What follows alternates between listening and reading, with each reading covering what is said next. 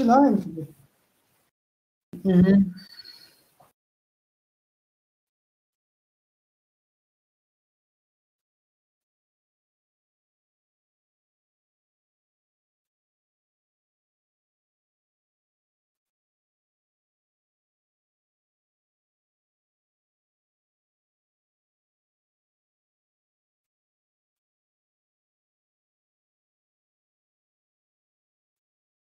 Угу.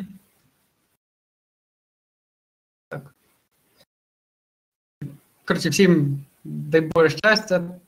Сподіваюся, всі живі, здорові і цей тяжкий час, ви якось тримаєтеся купи, клепка там не їде, знаєте. Ваш мікрофон вимкнений. Ем, Тема сьогоднішньої презентації це про те, як можна використовувати Google Club для високопродуктивних обчислень в сфері NLP. Е, Для початку було б добре е, знати, що таке, що саме означає NLP, бо багато людей знають це як нейролінгвістичне програмування. Нейролінгвістичне програмування це псевдонаукова якась там байда, яка щось аля про гіпноз каже. Е, В той час як NLP, те, про яке я буду говорити, це Natural Language Processing. Це галузь комп'ютерних наук. Яка входить аля до домену штучного інтелекту, яка полягає в тому, щоб е, навчити комп'ютери, обчислювальні машини, системи е, розуміти природну мову. Е, під природною мовою слід розуміти е, мову, якою ми з вами розмовляємо. Не програмування, не якісь там е, особливо побудовані синтаксичні конструкції, які чимось схожі на метапрограмування, а саме от така звичайна природна мова в якій є звертання, в якій є затримки, там е, всякі оці особливості. Е, Ви, мабуть, стикалися вже е, за останні пару років з дуже багатьма застосуваннями NLP, хоча самі цього, мабуть, і не знали. Е, Найтаким, мабуть, відомішим прикладом цього є Google Translate. Він, е, Всі знають, як він працює, ну, яка його суть сама. Ви пишете копіюєте якийсь там реферат е, російською, перекладаєте українською, хай з помилками, але вам цього достатньо, щоб вам поставили залік. Е, сама е, задача називається машинний переклад. Оцей машинний переклад це те, чим займається Google Translate. Так само цим займається там Яндекс Перекладач і всякі інші його альтернативи.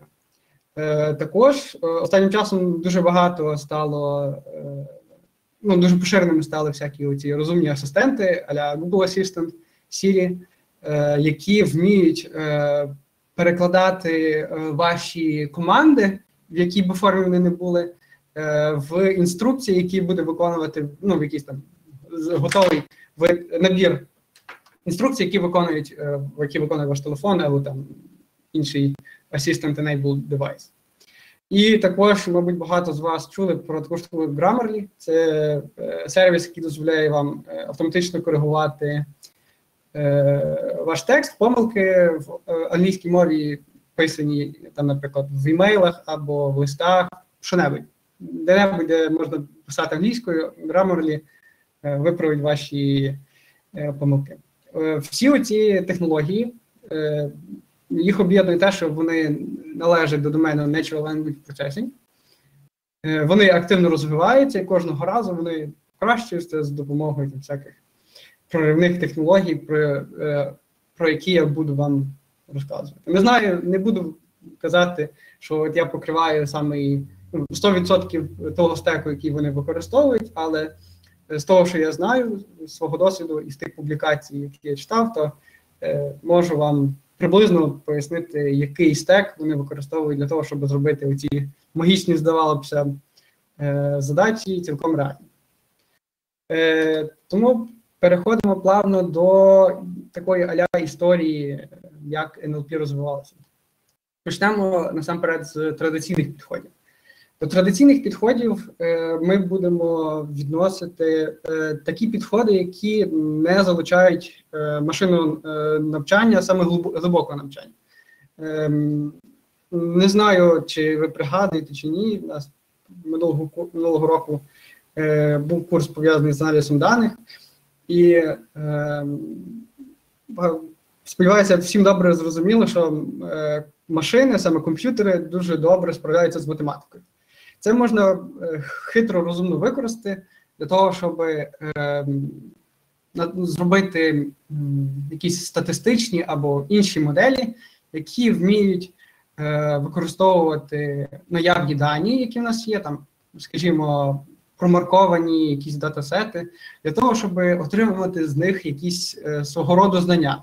Під цими знаннями слід розуміти можливість е, оперувати е, з тими даними, які є схожі за природою до тих даних, які модель раніше бачила, і е, якимось чином їх опрацьовувати в корисній формі. Наприклад, скажімо, ви натренували модель, яка там займається машинним перекладом. Так, вона ви тренуєте її перекладати з е, от даєте їй пари англійська англійська фраза, українська фраза. Вона тренується на цих парах, і в результаті ви даєте їй нове. Ну, після того, як ви закінчили тренування, ви даєте їй нову пару, навіть не пару, ви даєте їй просто англійське речення, якесь таке, яке вона раніше не бачила. І в ідеалі, якщо ваша модель хороша, на, на чогось навчилася, то вона зможе е, перекласти доволі непогано це речення на українську. Е, Класичні підходи е, мають багато обмежень, вони е, не можуть так просто взяти і навчитися перекладати е, з одної мови на іншу. Це ми, Я не буду вдаватися в деталі, чому так, але слід просто собі так уявити, що вони занадто тривіальні або занадто прості. Вони не мають занадто багато всяких різних, е, вони не мають достатньо можливостей, щоб узагальнити якісь паттерни в вхідних даних, щоб якось їх е, використовувати для таких складних кейсів, як NLP. Але тим не менше їх раніше використовували до того, як NLP, як е, Deep Learning стало популярним. Ем, моделі, які використовувалися раніше, це такі статистичні підходи, це дерева прийняття рішень, там е, Random Forest, логістична регресія, SVM, Support Vector Machine. Е, по суті, це такі ну, textbooks е, examples of е, data science. Це такі підходи, які використовують всякі там хитрі математичні формули, хитрі особливості функцій для того, щоб будувати статистичні моделі. Деталі їхні вдаватися не буду, але е, варто розуміти, що моделі працюють з числами. Вони не можуть працювати з текстом напряму. Тобто ви не можете взяти там, побудувати якісь дерево прийняття рішень і давати йому самі слова. Бо машина має якось розуміти е, слово в формі, якій воно розуміє. Вона розуміє числа, і нам треба число, е, нам треба текст подати в числовій формі. Якимось чином для НЛП. Е, Може може здатися ну, най, найпростішим, найнаївнішим підходом це кож, кожну літеру замінити на от, бітової репрезентації. В плані, от ми знаємо, що е, кожну англійську, кожен англійський, кожен символ англійського алфавіту можна подати в по схемі ASCII, е, там числом від 0 до 255. Е, Практика показує, що таке подання доволі неефективне і моделі погано використовують е, зв'язки між між літерами, щоб ну коротше, вони такий формат даних, попросту кажучи, він поганий. Він практика показує, що він не підходящий. Тому е, слід подивитися, які є можливі підходи обробки тексту для подання його в такій числовій формі. Е, Перший з них, один з найпростіших для розуміння і для імплементації, це називається one-hot encoding. Е, one-hot encoding полягає в тому, що ми е, беремо і будуємо величезний словник е, з усіх слів, які ми хочемо опрацьовувати. Скажімо, ви берете там якісь величезні, ну, там, Вікіпедію, так, скачуєте Вікіпедію, берете всі унікальні слова, які в Вікіпедії зустрічаються. І кожне кожне число е, йому ставити відповідність о, о, його позиції в там, Вікіпедії, коли вона вперше зустрічається. Наприклад, е, у вас буде 60 тисяч слів, скажімо. Е, там Перше слово це буде якесь починається на А, друге там Аарон, потім там Адам, і ви ставите А у відповідність е, 0 або одиницю, залежить від того, як ви там нумеруєте.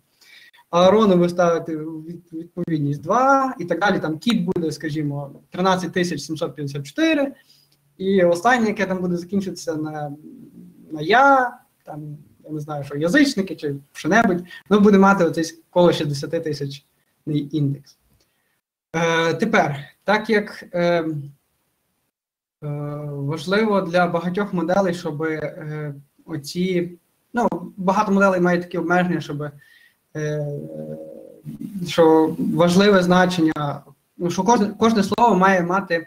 Е, таку властивість, яку вони називають е, ортогональністю. Тобто, так як ми не можемо сказати, от, що якесь слово більше за інше, ну, наприклад, ви не можете порівняти в численному порядку якимось хитрим, щоб воно мало е, способом, щоб воно мало зміст, наприклад, там е, Олег і Камінь, скажімо так, е, от як як їх порівняти? Ви маєте їхні індекси. Там в Олега буде індекс там 15 тисяч, в Каменя буде ну, буде там 12 тисяч, так?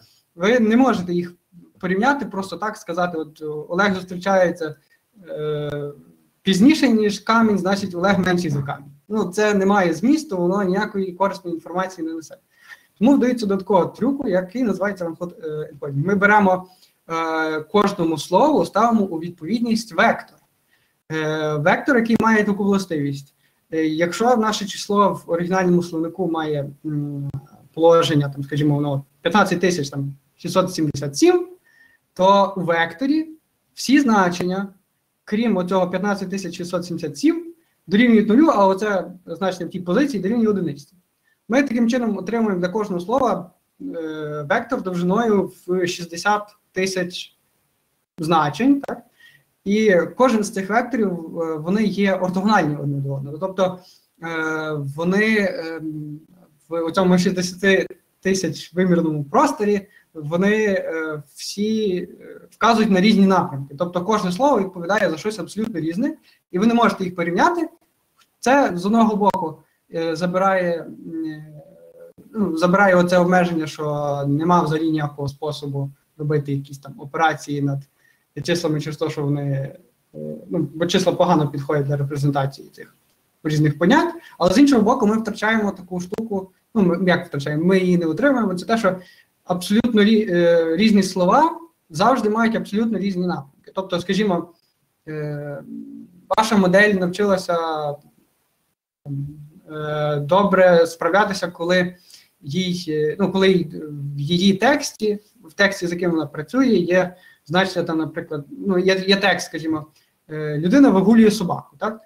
Якби вона побачила, людина вигулює кота, то модель би не змогла легко зрозуміти то, що кіт і собака мають однакові значення, бо ну, що вони мають близькі значення в плані, що це домашня улюбленість, це тварина, це щось маленьке, що можна вигулювати.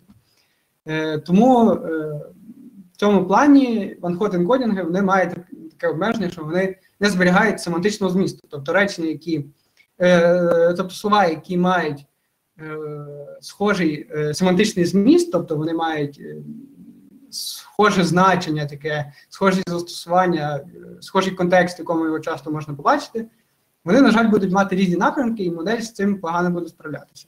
І також, як ви можете уявити, якщо у вас є 60 тисяч слів, із них ну, кожен вектор має 60 е, тисяч значень, з нього тільки одне число це одиниця, то у нас виходить гігантська, ну, гігантські вектори, в яких дуже маленький відсоток е, заповненості даним. так по-хлопськи, на хлопський розум. І це виходить до того, що у нас виходить дуже низька е, густина інформації. Ми дуже багато тратимо ресурсів на те, щоб кожне слово позначити. Бо це, якщо ви уявити себе собі там, текст, в якому зустрічається кожне слово по одному разу, то це буде 60 тисяч на 60 тисяч, це вже там в сотнях мільйонів значно вимірюється. І це моделі з таким не справляються. О, тут так само всі вектори ортогональні, і е, також е, сам текст е, дуже тяжко е, нормально, адекватно е, подати е, з допомогою цього one вектора, бо багато е, багато моделей вимагають, щоб вхідні дані мали однаковий розмір, а так як у вас буде е, текст з різною довжиною, то така репрезентація теж не буде працювати, бо у нас буде різна кількість цих векторів. Ем, е, стемізація слів, ну, це це трошки трошки інша частина. Це більше входить до того, щоб зменшити оцей зменшити розмір словника, е, щоб у нас не було тих 60 тисяч слів, бо серед них багато може, наприклад, бути там е, купав, купався, купала. Вони мають однаковий дуже близький семантичний зміст, але е, але вектори в них будуть абсолютно різні. Так, стемізація допоможе зменшити це число, бо воно стемізація що робить? Вона приводить всі слова до одної форми. До, ну, Всі слова, які мають схожий ем, схожий, скажімо, корінь, вона приводить їх до одної форми. Наприклад, купав, купалася, купати, не всі зведе їх до купати, так, грубо кажучи. І так само є лематизація, зводить їх до там, до купати загалом до лематичної форми. Коротше, одним словом, ці one-hot encoding вектори лаже повна. Вони жирні, старі, не підходять. Далі, є підхід back of words. Е, чимось схоже на е, one-hot encoding, але полягає в тому, що ми от вирішуємо цю проблему, що ми не можемо в модель перекинути текст, через те, що у нас там різна кількість е, слів може бути в текстах. Тоді ми просто що ми робимо? Ми беремо суму, робимо один вектор, який відповідає, в якому в одиничками позначені всі ті слова, які зустрічаються в тому тексті. Наприклад, у нас є текст The dog is on the table то тоді напроти слів dog, is, the, table всюди стоять одинички, а всі ті слова, які не зустрічаються в тексті, стоять нулі. У нас переваги е, такі самі, як one-hot encoding, типу, ну, ну, дуже просто імплементовуються. Ми маємо плюс до, доданий е, зміст в тому, що ми маємо сталий вектор для тексту. І також прикольна штука, те, що воно трошки зберігає семантичне значення. Тобто, якщо у вас буде речення The dog is on table і The cat is on the table, у вас буде все, все дуже схоже, крім крім dog і cat. Типу, ну воно зберігає трошки інформації. Але проблема в тому, що воно зовсім ігнорує позицію слів, і все ж таки ну, це все одно дуже багато місця ми просто вистимо, бо занадто багато нулів виходять в тому векторі. Але тут є TF-IDF, це теж такий хитрий спосіб, який, ну, коротше, трохи ліпший, він враховує е, ті слова, які дуже часто зустрічаються, наприклад, там the, a, is, n і так далі. Воно просто враховує їх і їм ставить нулі. І, коротше, е, особливо різниці там принципової немає, теж такий наємний спосіб. Далі появилася дуже крута штука, яка називається вортовек. Е, вона полягає в тому, що ми тренуємо хитрим способом м, ці векторні репрезентації для слів. І е, ну, якщо якщо може комусь буде потім цікаво, то можу розказати, як саме це відбувається, але е, сама крута штука, яку треба розуміти, яка чим відрізняється вортовек від е, решти підходів, це те, що ми отримуємо, по-перше, дуже маленькі вектори, ну, відносно значно. Це приблизно 300 300 значень на кожне число. І плюс ми можемо робити з ними арифметику. В плані ми можемо е, взяти вектор який відповідає е, слову чоловік, взяти вектор, який відповідає слову жінка. Тепер, якщо ми знайдемо між ними різницю, ми отримуємо е, вектор, який вказує на на, на стать. Бо чоловік і жінка, вони люди, в них все принципово одинаково, крім статі. І тепер ми можемо оцей вектор статі використовувати як в, в інших арифметичних операціях. Наприклад, ми можемо взяти вектор для слова чоловік додати вектор статі, який йде в напрямку до жінки, і ми отримуємо вектор, який буде дуже близьким до вектора, який відповідає слову королева. Король, по суті, це як ми беремо до короля, додаємо різницю між е, жінкою і чоловіком. І все, і ми отримуємо типу, як е, семантичне значення. Ну, ми, ми отримуємо дуже важливу таку штуку, те, що ми можемо е, мати тепер семантичні е, відношення правильні збережені між словами. Плюс ми маємо дуже маленькі, ну, значно менші, якщо порівняти 60 тисяч е, і 300 е, розмірність ми маємо дуже такий конденст форму е, подання слів. І от Word to Vec десь до 2015 року було як state of the art. Тобто воно дуже ефективно показувало себе з різними моделями. Але то вся фігня, якщо порівнювати це з нейронними мережами. Нейронні мережі мають дуже круту штуку, що там треба дуже мало чогось хендкрафтити, і вони вміють вивчати такі high-level репрезентації даних, які дуже тяжко задизайнити вручну. Коротше, ну, вони показують себе як набагато ефективніші підходи для майже всього, що є таким ну, когнітивно складним, наприклад, переклад або там. Е, зміна стилю зображення або ще щось в такому дусі, щось таке, що дуже тяжко захардкодити. На початку такий трошки лікбез по нейронних мережах. Що таке нейронна мережа це е, така, це набір, по суті, лінійних рівнянь. Е, там операції, е, які використовують множення матриць на вектори, матриць на матриці. Е, деталі сильно не буду додаватися, але е, воно намагається е, симулювати то, як відбувається робота наших нейронів в мозку. І оцей математичний апарат, який ви тут бачите, оці вектори і матриці, які множаться одне на одне, це дуже сильно спрощений. Взагалі, може, можливо, навіть дуже нереалістичний, але це така математична модель того, що відбувається в е, нашому мозку. Вони дозволяють е, вивчати набір параметрів, які називаються вагами. Е, оці W1, W2 і тут е, які ем, допомогою хитрої математики можна перетворити в переклад машини, або можна перетворити там в класифікацію зображень, що-небудь. Е, це топік, який ну, дуже цікавий, дуже мені дуже подобається, я в ньому власне працюю. бо Це е, галузь, яка вивчає нейронні мережі, називається Deep Learning. Це галузь, яка стосується е, тренування і роботи з нейронними мережами, які мають багато шарів, бо тут ви бачите тільки один шар, input layer і output layer. Ви, ви можете додати ще один шар, в якому будуть так само ці зв'язки. Ці зв'язки вони репрезентуються за допомогою цих вітів. Коротше, берете таких десятки, і ви можете е, на вхід подавати там картинку, на вихід мати опис тої картинки. І Хочете вірте, хочете ні, ну, але отко працює все, що стосується там з переносом стилю, там, наприклад, всякі фільтри в інстаграмі. Вся ця байда під капотом використовує таку математику. Ну, не сильно привабливо, але якщо в тому розібратися, то ну, дуже дуже стає все логічно. Е, Градієнтний спуск це спосіб, з допомогою якого власне тренуються ці мережі. Він полягає в тому, що ми. Е, ми використовуємо трохи е, математичного аналізу для того, щоб е, мінімізувати значення функції. Якої власне функції? Функції, яка називається функцією похибки. Е, яким чином це робиться? Е, ми для кожного е, вхідного значення під час тренування, наприклад, для під час тренування там нейронної мережі, яка має перекладати з української на англійську, так?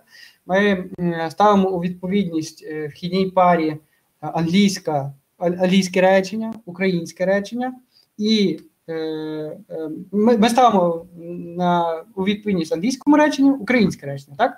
І тепер кожного разу, коли нейронна мережа передбачає не ну, пере, перекладає е, англійське речення українською неправильно, ми ставимо їй скор. Який вказує на те, наскільки сильно вона помилилася. Наприклад, якщо вона там взагалі якусь абракадабру сказала, то скор буде дуже низьким і вона буде мати дуже велику похибку.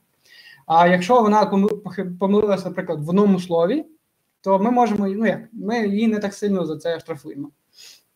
Ви можете собі це уявити, ну, це, мабуть, тяжко уявити, але е, як е, на цьому прикладі е, ми бачимо, як оці тета 0 і тета 1 це слід розуміти, це як параметри нейронної мережі. Тобто Вихід, оцей переклад в нашому випадку речення з англійської на українську сильно залежить від цих самих параметрів, які ми тренуємо в нейронній мережі. Якщо вони погані, наш скор буде дуже низький і у нас буде дуже велика похибка. Це ви можете бачити, як оці червоні такі піки е, піки на цій діаграмі. Це означає, що з такими параметрами, там, де знаходяться оці червоні піки, ну там, наприклад, в нашому випадку тут тільки два параметри, але на, на практиці їх там десятки тисяч. От, скажімо, в цьому випадку, якщо тета 0 це буде 0,7 і тета 1 буде 0,4, то у нас буде дуже велика похибка. І так само, е, якщо ми е, хочемо знайти значення, де буде якомога менша похибка, нам треба якимось хитрим чином знайти це місце, в якому оцей, оцей похибка, знайти такі параметри, для яких оця похибка буде ну, доволі низькою. Не обов'язково, що вона буде найменшою, але вона має з часом під час тренування ставати меншою. Тобто, е, під час тренування з допомогою градієнтного спуску ми змінюємо оці параметри помаленьку. Починаємо, наприклад, з цієї точки, там у нас дуже велика похибка. Ми з допомогою sorry, алгебри ми рахуємо напрямок, в якому нам треба міняти ці параметри. З допомогою градієнту, якщо хтось пригадує, що це таке. Е, ми вибираємо цей напрямок, в якому нам треба трошечки посунути параметри, і дивимося, який скор виходить в нашій нейронній мережі. Якщо цей скор стає меншим, ми і далі продовжуємо в тому напрямку, грубо кажучи. І в результаті тренування ми доходимо до тої точки, в якій параметри такі, що скор якомога менший. Оці сині ямки це місце, де у нас добре нетренована модель. Е, не знаю, наскільки це наочно. Я далеко не зразу це в'їхав, але так воно працює. Далі. Яким чином вже можна притикнути ці нейронні мережі до саме задач обробки природної мови? Е, Є варіація нейронних мереж, яка називається рекурентні нейронні. Вона полягає в тому, що ми використовуємо ну, доволі таку хитру комбінацію е, цих нейронних мереж для того, щоб е, зберігати інформацію про контекст, коли ми опрацьовуємо якусь послідовність. Е, Грубо кажучи, як це працює? Скажімо, нам треба перекласти з англійської знову ж таки на українську. Наша нейронна мережа спочатку бере на вхід початок, перше слово з е, англійського речення. Вона перекладає його в вектор з допомогою ембедінгів, от такого як word to vector. Е, вона має якусь числову репрезентацію того, того слова. Далі вона бере е, на вхід друге слово, вона робить, обчислює з допомогою матриці тих параметрів свій своєрідний внутрішній стан, який краще видно на цій діаграмці. Оце отут червоненьке ми бачимо як перше перше слово, це друге, це третє слово. Скажімо, у нас тільки три слова. Оце синє це переклад, який ми. Е, які ми будемо показувати як вихід з нейронної мережі. Оце червоне це англійське речення, це українське. Отже, ми беремо перше слово українське, пере... закидаємо його в нейронну мережу, вона отримає там внутрішній стан якийсь хитрий. Далі ми даємо їй на вхід друге слово, вона опрацьовує внутрішній стан. По суті, це як можете подумати собі як пам'ять про те, що вона бачила раніше в реченні там зміст того, що того речення, яке вона раніше бачила. Вона опрацьовує нове слово, плюс той зміст, який вона мала, отримує новий стан, передає його далі. Так до самого кінця, поки ми не отримали якийсь стан, який відповідає за всі слова, ну, який, по суті, опрацьовує всі слова, які ми маємо е, в оригінальному тексті. І далі вона починає його перекладати. Вона перекладає е, спочатку в показує перше слово, яке вона е, ну, яке вона хоче перекласти оце вхідню послідовність друге і так далі, поки вона не закінчить це робити. Це е, під капотом воно трохи складно виглядає, типу там, математика е, доволі така involved. Я не думаю, що варто це зараз пояснювати в деталі, але є кілька варіацій цих РНН. Це класична РНН, яка має доволі е, ну, просту будову в порівнянні з LSTM, це найскладнішим варіантом, і GRU – це спрощений варіант LSTM. Це не знаю, діаграми страшні, як перший раз їх бачив, то відпало бажання в цьому розбиратися, але е, якщо вам дійсно цікаво, як працює машинний переклад, то оці розуміти те, як працюють приблизно оці штуки, це дуже дуже крута штука, і ви можете їх потім легко використовувати в своїх додатках. Тут е, поговоримо трохи про їхні особливості тих РНН. Е, вони враховують позицію е, слів е, ну, не враховують під час роботи. Тобто, наприклад, якщо ви будете мати текст, в якому е, ви напишете е, там, скажімо, я не люблю ходити до школи, і я люблю не ходити до школи, то воно може врахувати це положення не як що воно в одному значенні має, в одному положенні має одне значення, в іншому положенні має інше. Тобто вони враховують контекст е, е, контекст самого тексту, і типу це покращує е, переклад або інші які ви там робите, класифікацію чи що. Тобто воно краще вчиться опрацьовувати оці послідовні дані. Е, їх також можна використовувати для того, щоб вивчити оці ембедінги. Ембедінги – це оці векторні репрезентації слів. Тобто ви можете використати ем, РНН-ку і натренувати свої ембедінги, які будуть, е, можливо, навіть кращі, ніж ті, які е, можна натренувати за допомогою вортовек. І РННки мають дуже багато застосувань. Їх можна використовувати не тільки для тексту, їх можна використовувати, по-перше, для ну, для перекладу, це ми вже казали, для класифікації можна генерувати текст. Це буде як один з прикладів того, що я буду показувати. І, коротше, вони е, кращі, набагато кращі за класичні підходи. Але проблеми в тому, що вони все-таки мають недоліки, вони мають послідовно, полягає їхня робота полягає в послідовних операціях на токени. Тобто ви маєте спочатку взяти перший токен, е, ну, перше слово оригінального тексту, потім ви опрацьовуєте його друге, знову опрацьовуєте. І це все послідовні такі операції, воно е, воно коротше вливається в дуже багато обчислень під час е, тренування і використання вже самої мережі. Їх тяжко паралелізувати, тобто вони ну, мають недоліки по продуктивності. І плюс є ще така штука, як Vanishing Exploding Gradient, коротше, вони погано вчаться. Їх не мають е, обмежену, не мають обмеження по пам'яті, вони не можуть багато, ну, вони не можуть до кінця речення дуже сильно пам'ятати, що було в самому початку. Така їхня е, проблема. І тут. Ага, тут мене показує. Е, може звідси. Ківка. Так. Тепер е, поговоримо про те, яке відношення мають трансформери до всієї цієї биди. Е, трансформери це таке слово, яким е, автори назвали свою роботу про новий підхід до обробки е, тексту. Називається оцей Transformers. Вони так собі придумали. Полягає в тому, що вони замінюють всі ці послідовні операції на легко паралелізовані легко паралізовані обчислення. Там, типу, це state of the art. Це зараз всі наукові роботи за останні три роки, які ні, за останні два, які показують якісь там найкращі результати. Ми всі використовують цю архітектуру. Тут гівка не знаю, наскільки вона зрозуміла. Я вже коли пару днів бався з цими трансформерами, то все одно воно було трохи неясно. але Коротше, суть треба розуміти, що вони найефективніші з тих, що зараз є. Вони мають дуже багато переваг, їх легко тренувати, і, власне, трансформери я буду їх використовувати і презентації. Ну, ладно, ми поговорили про підходи самі, але важливо і то, якою ціною це все діло дається. Давайте подивимося на е, то, що пишуть автори цієї оригінальної роботи по трансформерах. Вони там натренували найкращу. Модель на той час, яка вміла дуже добре перекладати текст, майже настільки добре, як людський перекладач. Там, не здається, з української на німецьку, так, з української на німецьку перекладали.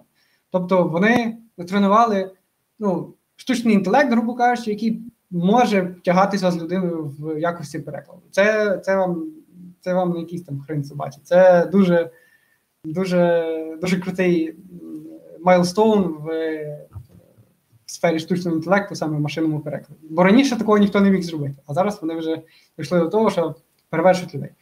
Е, в своїй роботі вони пишуть, е, скільки ресурсів, які ресурси вони використовували для тренування. І якщо ви вчитаєтеся, то тут пише, що вони використовували 3, ну, вони е, втратили 3,5 дні на 8 P100 GPU. Щоб розуміти, NVIDIA Tesla P100 коштує 8, майже 9 тисяч доларів за штуку. Тобто і таких 8. І це діло обходиться в скільки? Ну, коло 70 тисяч доларів, так орієнтовно. Це дуже велика сума. Вона, звісно, для мене не підйомна, але мені хотілося якось якимось чином ну, досягнути якихось там чуть-чуть ліпших результатів, ніж ті, які. Е, ну, про, Просто попробувати потренувати з таким. Е, з такою технологією нейронні мережі. І що що робити тоді? Ну, лишається плакати, здається, да? Я бідний голодний студент, ну може не зовсім бідний, але в мене далеко немає 70 тисяч доларів заварених, і це діло дуже дорого обходиться. Е, Тут, на щастя, з'являється Google Collaborator. Це така, е, такий сервіс від е, Google, який дозволяє використовувати е, GPU, тобто ну, дуже потужні оці відеокарти, які ну, не не такі хороші, як ті песота, але теж дуже дуже якісні, такі ну, набагато дорожчі, ніж ви собі можете уявити в порівнянні з того, що що вони дають за ну, за 0 доларів. Collaboratory – це по суті як е, захочений Jupyter ноутбук, якщо хтось працював в такому середовищі, в якому можна е, запускати код на Python. Е, і враховуючи, що Collaborative дає до, до, доступ до GPU, то можна тренувати там нейронні мережі на всіх фреймворках, які можете собі уявити, які підтримуються на Python. І це все діло обходиться вам в 0 доларів, типу абсолютно безкоштовно. Ну, Єдине, що там є деякі обмеження. Але от основний основний point цього це безкоштовний доступ до GPU. Я ще що це якась фігня, типу, ну хто буде безкоштовно давати доступ до GPU, але виявляється, Google достатньо ресурсів, що вони можуть собі навіть таке дозволити. Е, Google має дуже багато дата-центрів, і видно, не завжди їм треба стільки обчисленої потужності, то вони вирішили їх просто роздавати задармо. Але, звичайно, своїми обмеженнями. Оце оце отак я виглядав тоді, коли побачив те, що вони абсолютно безкоштовні, і то, які саме там GPU можна побачити, це не знаю, чи хтось так розділяє мій заход від того діла, але давайте подивимося е, на фічі, які є в колабораторі. Е, це, як я вже казав, це захощений безкоштовно Jupyter Notebook Instance, тобто ви можете там писати що-небудь на на Python в інтерактивному режимі, і ви можете мати доступ до GPU, і якщо у вас фреймворк підтримує, навіть до, до TPU. Я використовую PyTorch, він е, на TPU ще не працює. TPU це, тих, хто не знає, це Tensor Processing Unit. Це е, такі варіанти цих GPU, тобто відеокарт, які чисто заточені під нейронні мережі. Вони мають супер оптимізовані е, ядра е, хардверні для того, щоб робити дуже ефективні операції над тензорами, а тензори це власне матриці багатовимірні. Всі нейронні мережі побудовані на на тензорних операціях. Там е, під капотом така страшна математика з множення матриці на матриці і матриці зазвичай гігантських розмірів, що звичайний CPU просто ну, це не витягує, і я потім покажу приклад, скільки разів воно не витягує. Е, Дуже крутою фічою є те, що ви можете використовувати свій Google Drive як е, сторіс для даних, які ви там будете мати під час тренування. Тобто ви можете підключити свій навіть безкоштовний е, Google Drive Instance, тобто, скажімо, там дається скільки 15 гіг, десь так. І ви можете мати доступ до всіх папок зсередини цього Jupyter ноутбука. Тобто ви можете е, залити датасет е, на Google Drive і використовувати мати до нього доступ е, через цей Collaborative Instance. Там є, підтримується абсолютно вся Pythonівська екосистема, тобто ви можете ставити будь-які пакети, які можна поставити з піпом. Можете навіть не тільки з піпом, там є дуже дуже багато всяких крутих фіч, які, по суті, ну, все, що треба, все, що треба при роботі з даними. Ем, колабораторії підтримує. І ви маєте так само доступ до майже всіх тулів Linux. Тобто ви можете, ну, звичайно, там адміністрації ніякої ви не зробите, ви будете там е, створювати нових користувачів в тій віртуалці, але суть в тому, що ви можете там подивитися якісь LS, TP і так далі, ви це можете використовувати. Е, ну, я вас, звісно, вже не страшив е, всякими цими розумними словами, але давайте перейдемо до демо, в якій я покажу, от як дійсно виглядає робота з цим. Е, е, Чи можна тренування, е, питання, чи можна поєднати тренування НН в одній моделі словесної, числової та візуальної? Типу, чи можна об'єднувати кілька видів даних в одній моделі? Звичайно, можна, тільки це, що це вимагає хитріших архітектур, ніж ніж наївних. Наприклад, для словесної ви можете використовувати е, цей трансформер, плюс додаєте пару е, пару нейронів, які опрацьовують числові значення. І е, для візуальної ви використовуєте якусь згуртовану нейронну мережу, там, наприклад, ResNet. Ви об'єднуєте їх через операцію, яка називається Concat, і ви, по суті, зберігаєте весь цей е, прихований стан е, всіх оцих трьох нейронних мереж в один, і ви можете над ним робити додаткові операції, там мати якусь голову для класифікації. Е, Штрих фото. Так, це такий use case, який можна використовувати. Для, для такого use можна використовувати. Е, переходимо до демки. Це евоки. Страшно Так. Ем, От, власне, і є інтерфейс Google Club. Ви можете зайти сюди, просто набравши колаб Research Google Club, або загуглити перший гуглі. Е, це головний продукт, звісно. Е, створити новий ноутбук ви можете через файл New Notebook і створюєте новий постійний ноутбук, такий як в Jupyter Notebook. Давайте зараз просто щоб подивитися на абсолютно ідентичний для тих, хто знайомий е, з Jupyter ноутбуком. От ви маєте тут звичайний інтерфейс, тільки те, щоб трошки кастомізований. Е, Для початку нам треба приєднатися до інстансу. Е, Ми для початку маємо, можемо вибрати зразу тип. Ну, поки що не можна. О, є. Change runtime type. Е, як бачите, ми можемо вибирати рантайм, в якому не підключені е, відеокарти. Це Hardware Accelerator Non, це без жодного е, прискорювача. До речі, мабуть, Украї... якщо у вас українська в е, аккаунті голоску вибрана в настройках, то тоді у вас це буде перекладено, це просто в мене. Все по змовченню англійською, так що не лякайтеся сюди English. Е, ви можете вибрати GPU і так само TPU. Я TPU не користуюся, бо PyTorch, я знаю, не використовую. Ну, немає підтримки GPU. Там поки що ніби не зайшло, тільки діло мені робити. Але е, от ви виберемо GPU і подивимося, як процес е, отримання цих ресурсів працює. Ми нажимаємо Connect, і зараз буквально за пару секунд нас приєднає до ядра, яке буде весь цей код запускати.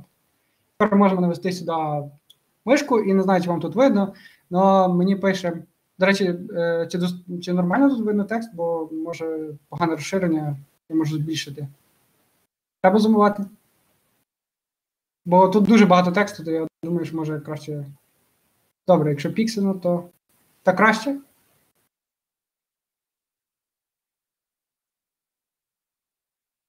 Ну, дивіться. Тут пише, є повзунок, який е, вказує е, на використання оперативної пам'яті диску. Диск тут зараз звичайний той віртуальний машин. Коротше, оця дефолт, дефолтний інстанс, який нам пропонує е, Collab, має доступ до 12, ну там майже 13 гіг оперативної пам'яті е, і жорсткий диск на 32 ГБ. Це, як на мене, доволі багато. Типу, це більше, ніж ваш звичайний ноутбук, скоріш за все. Ну, Я раніше, років 3-4 тому, дав набагато десь 15 тисяч. То, щоб купити ноутбук, який далеко з цим порівнятися не може. А так це абсолютно безкоштовно.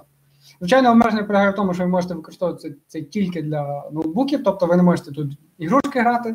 Так що, на жаль, всі, хто хотіли е, скористатися цим супергеймерським сетапом, на жаль, не вийде, але все одно ми можемо використовувати це для чогось трошечки продуктивніше.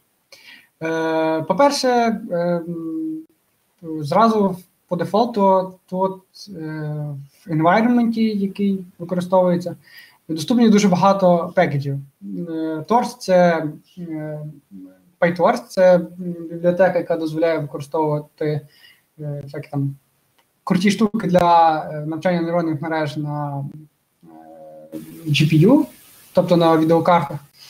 Е, Matplotlib е, і sklearn – це бібліотеки, які відповідають за графіки і за всякі там е, класичні там, підходи для роботи з даними, тобто там дерева прийняття рішень, логістична регресія тощо. Тобто, всі оце вони, не треба нічого додатково ставити, вони одразу тут доступні. Бачите, нормально відпрацював оце і ніяких А Так само ви можете доставити будь-який пакет, якого нема по змовчуванню. Скажімо, от я доставляв там в своєму прикладі Hugging Face, але тут я доставляю просто якийсь пакет для логування, хоча його використовувати не буду, але просто сам приклад полягає в тому, що ви можете використовувати будь-які сторонні пакети, типу колаб немає ніяких обмежень. Далі, ну і тут так само можна, якщо комусь цікаво, якщо хтось розбирається, то можна написати підфріз і подивитися, який тут гігантський ліст зразу поставлених пакетів. Тут, е, коротше, їх до дідька і трохи, їх хватить вам на 95% всіх юзкейсів. Тобто колаб дуже добре затюнений під саме таких людей, які напрацьовують дані. Е, так як ми е, підключили в рантаймі, ми вибрали Type GPU, ми можемо отримати доступ до NVIDIA SMI. Це така toolkit е, командлайновий, який е, ага, до речі, що я мав сказати. Е, як ви бачили, через PIP, щоб поставити щось через PIP, я ставив це з допомогою такої команди, як знак оклику, і потім PipFreeze. PipFreeze – це звичайна команда, яка там показує всі пакети, які в нас є. А знак оклику означає, що оця команда це не звичайний Pythonівський код, а це те, що має бути виконано виконане в терміналі.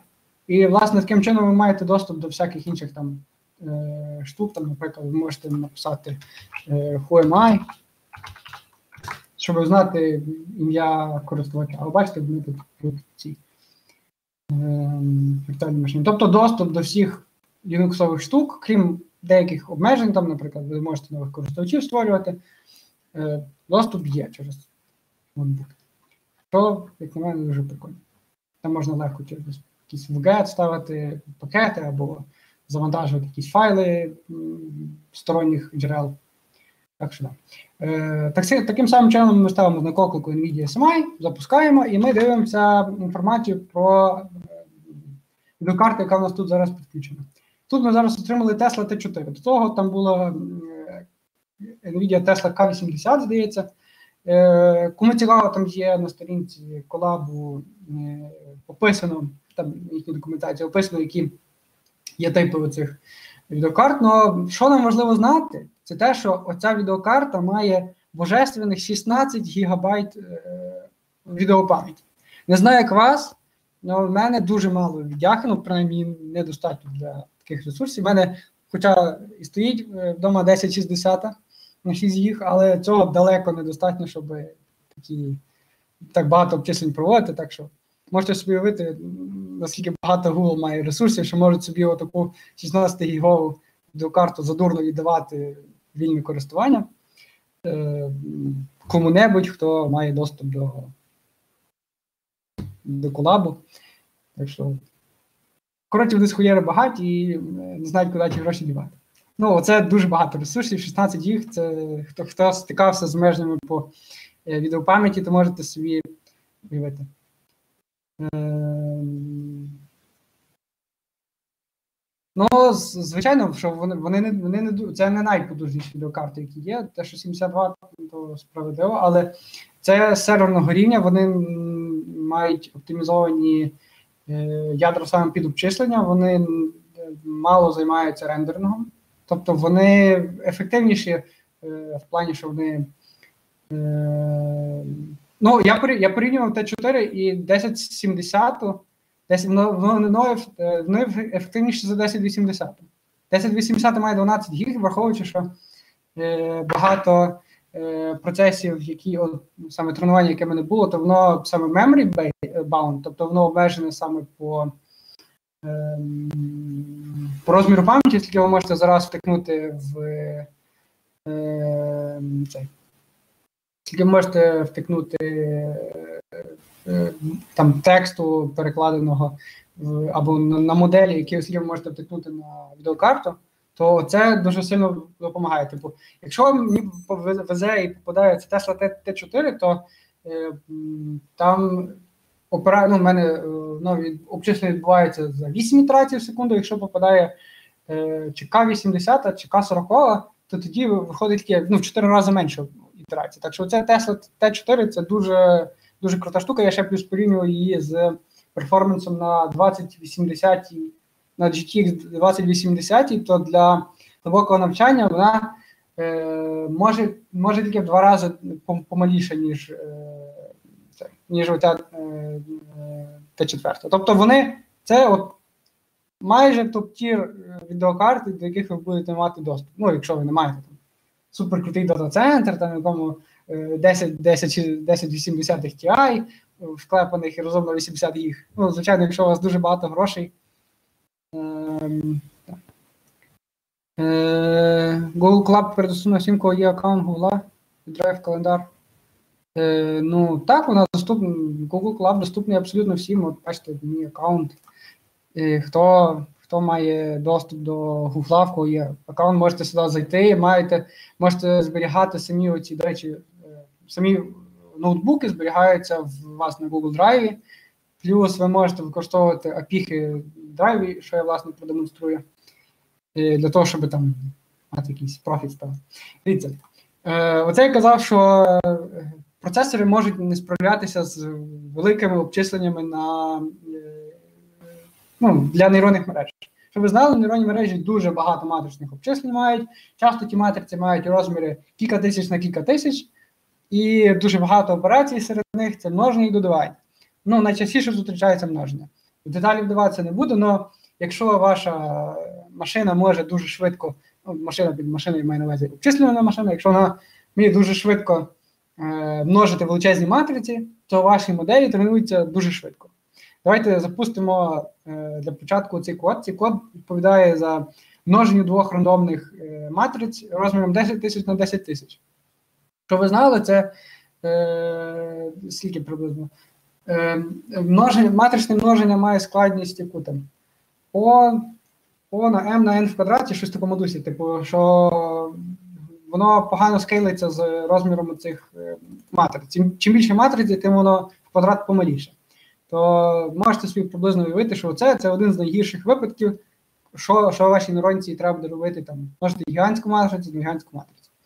Е, команда Таймі дозволить нам порахувати, скільки часу в середньому е, займає порахувати оцей добуток між цими двома рандомними матрицями. Я це раніше запускав, воно показувало 30 секунд на луп, тобто воно десь півтори хвилини працювало, бо тричі запускало. Не знаю, якщо цікаво, можу запустити це ще раз, бо може тут інший процесор.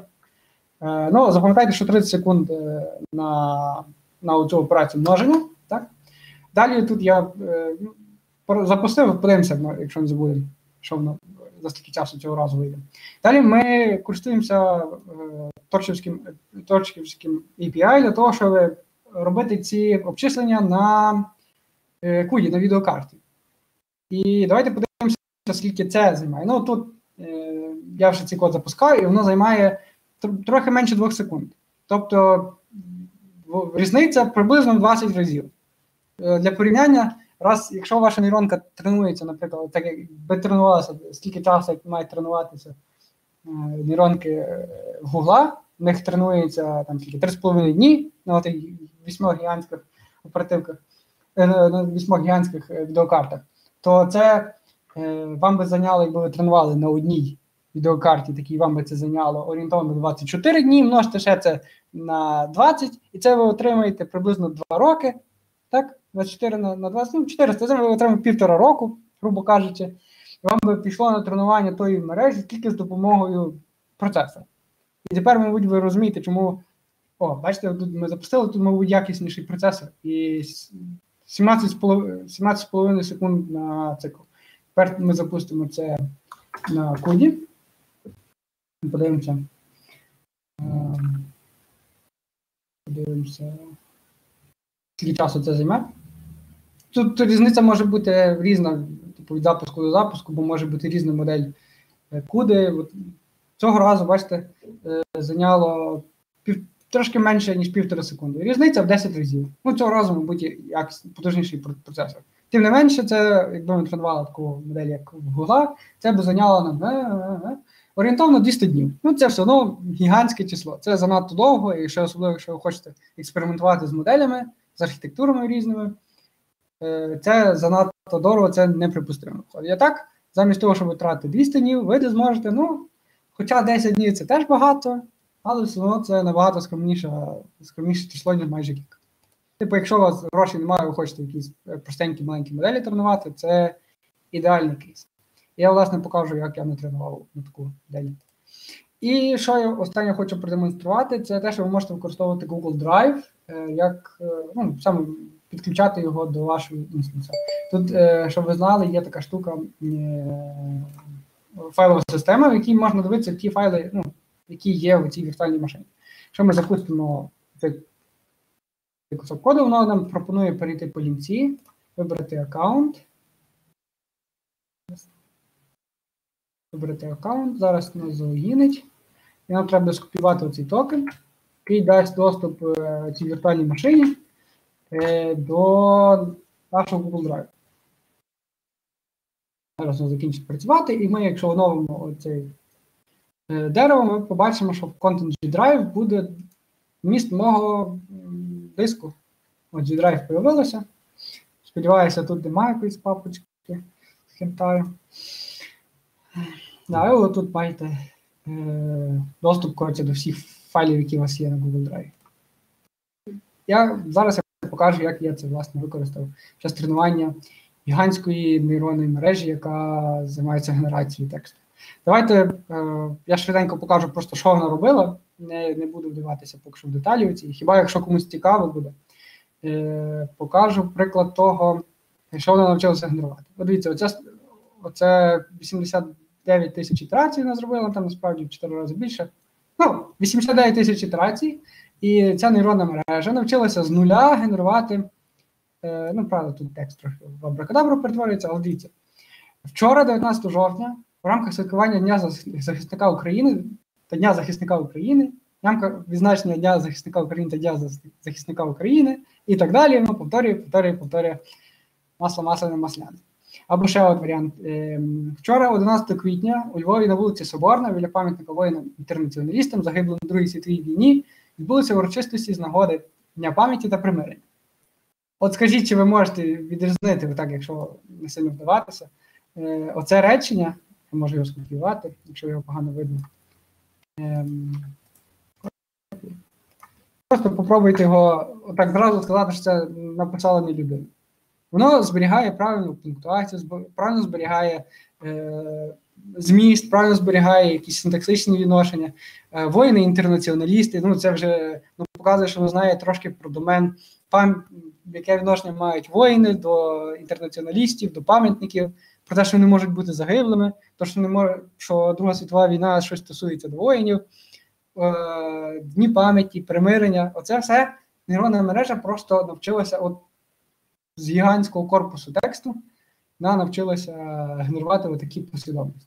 Вона це робить з допомогою, ну просто е, типу, вона, е, під час тренування вона вчиться передбачати наступне слово. І коли ми отримуємо ну, час тренування, вона має там текст, я можу вам показати, як він приблизно виглядає. Ось я мав приклад. Якщо його не стер, був, був якийсь такий жартик. О, Оце один з прикладів е, того тексту, який отримує нейронна мережа. Це копія, я вставлю. Е, Вона тут мільярди таких речень, таких рядків. Оце ти не в курсі, коли на спів закінчиться, це, мабуть, якийсь жарт. Е, Ну, що можна було спокійно м'ясо їсти.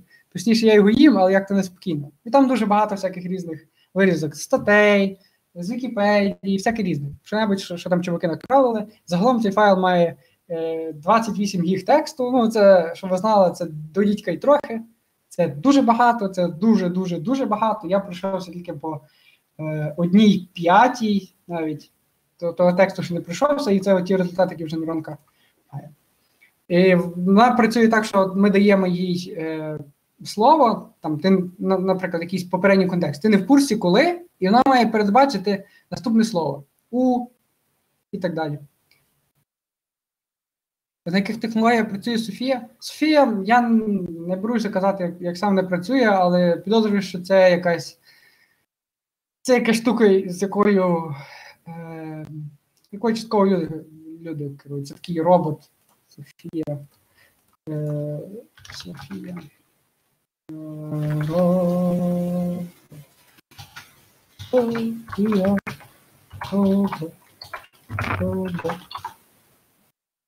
О, і дуже подобні робиться. Ем, можна згенерити і продовжити в плані. А, а обмеження так, є. Е, те, до чого я власне хотів прийти. Е, ну, звісно, круто, що вони все безкоштовно дають, але в чому ж прикол? Ну, не можна не можна просто так давати так багато численних потужностей, кому хочеш. Обмеження полягає в тому, що якщо ваш інстанс активно не раниться, може нам повезе, і ми це побачимо. Е, вас просто задісконектить до цього бекенду. Тобто ця віртуальна машина, яка має всі ці гігабайти оперативної пам'яті, там, відеокарту, вона може просто відключитися від вас і переключитися на якісь інші ресурси, які ну, коли на гуглові більше потрібно. Бо це все працює на гугловському бекенді, типу, це все гугловський клауд. І вони просто частину ресурсів, які вони можуть собі дозволити роздавати, вони їх здають в оренду, хто кому хоче, до того моменту, поки їм не стає потрібніше. Я е, використовую Google Drive для того, щоб зберігати проміжні результати свого тренування. Дивіться, я покажу, ну тут трохи багато коду. Але е, отут з самого початку я маунчу цей Google Drive, е, так само, так як в тому прикладі. Е, і далі я використовую файли з Google Drive під час тренування. Це папка, в якій знаходяться дані, папка, в якій знаходиться там токенайзер, і папка, в якій відбувається, зберігається чекпоінти. Чекпоінти це проміжні стани моделі до того, як вона повністю дотренувалася. Я зберігаю там всі, всю штуку, яка необхідна для того, щоб відновити тренування з, ну, після перерви. І ну, я, на жаль, тут не буду показувати, бо воно доволі таке ресурсоємке, воно не зразу піднімається. Так, є код, який дозволяє зберегти чекпоінт. Це все кастомна штука, типу, це так з коробки ви не зробите, але є туторіали в як це можна робити. Ви зберігаєте стан моделі. Час від часу я це роблю, ну і можете потім його відновити. Е, я роблю чекпоінти е, кожні тисячу кроків. Тобто, якщо ви бачите, тут 8 тисяч, ну, 88 тисяч, то означає, що після того, як я оце порахував, я зберігаю чекпоінт кожного разу, коли такий аутпут виводиться, тут, як бачите, тільки три останні виводяться. Це через те, що я вже дуже багато разів зупиняв і продовжував тренування. Ну, Якщо повезе, то може бути таке, що вас е, сесія буде тренувати. У мене так бувало, що максимум сесія десь 4-5 годин безперервно працює. Тобто вона не вмирає. Е, ну, не вмирає віртуалка, не треба заново підконектуватися, і це дуже сильно типу, рухає по прогресу.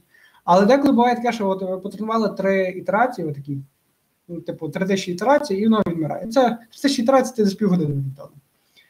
Е, але код, на щастя, зробив такий, що ну, дуже просто він знаходить просто останній чекпоінт, і його підгружає, і далі продовжує з того самого місця тренувати. Якщо ви заморочитеся з таким, воно дуже сильно купиться, бо ви можете використовувати всі ті ресурси, які дає Google, абсолютно безкоштовно. Ну, не набагато краще за за то залізо, яке я маю в себе вдома. І, типу, ви не тратите своїх ресурсів на те, щоб тренувати які завгодно складні моделі ви хочете е, тренувати. Типу, це дуже крута штука. От так, оцей результат, щоб, щоб ви знали, я е, прийняв його з іншої роботи, яка тренувалася на оцій 2080 Ti. Там, правда, використовували трансформери. а Рененки, то в них результат приблизно в 20 разів гірший. Ну там є такий скор, називається ем, Perplexity, BPE Perplexity, то в тамтій роботі, яка є магістерською в УКУ, ну типу, це дуже крутий заклад, і ми мали багато е, ресурсів потратити на те, щоб нормальну працю зробити. Ну, коротше, в них результати в 20 разів гірші, при тому вони тренували на крутішому залізі довше, ніж я. А я оце буквально за лічені, ну там буквально за 3-4 дні, от того, що запускати час від часу, е, перезапускати це ядро, і ми досягнули результатів, які набагато кращі, ніж ті попередні ніж попередні роботи, які так само робили цю мовну модель, яка генерує текст для української. Так що так, можна зберегти і продовжити. І це от самий самий крутий момент в, в колабі, що ти можеш об'єднати їх з Google Drive і мати таку як синергію, що ви маєте безкоштовні обчислені потужності, безкоштовний сторич, і виходить, е, по суті, безкоштовна, безкоштовні обчислення взагалі. Єдине обмеження, те, що ну, у вас є розмір е, драйву по дефолту 15 гіг. Типу, в мене оцей файл для тренування, він має 28 гіг, самі розумієте, воно не влізує, навіть як би ти його не зжимав, воно не влазить в 15 гіг, і тому мені довелося. Е, так, я бачив, що час підбігає. Тому мені довелося тільки докупити е, підписку на Google Drive, на там щось 50 гривень в місяць. Бачите, така іконка, червона, синьо жовта, е, яка дає доступ до 100 додаткових на драйв. І це може єдине обмеження, яке ви мати. Але так, можете з таким сетапом можете дуже багато роботи зробити чисто безкоштовно, і це буде дуже круто. Та тепер 5 хвилин маємо ще, якщо має хтось якісь питання, буду дуже радий.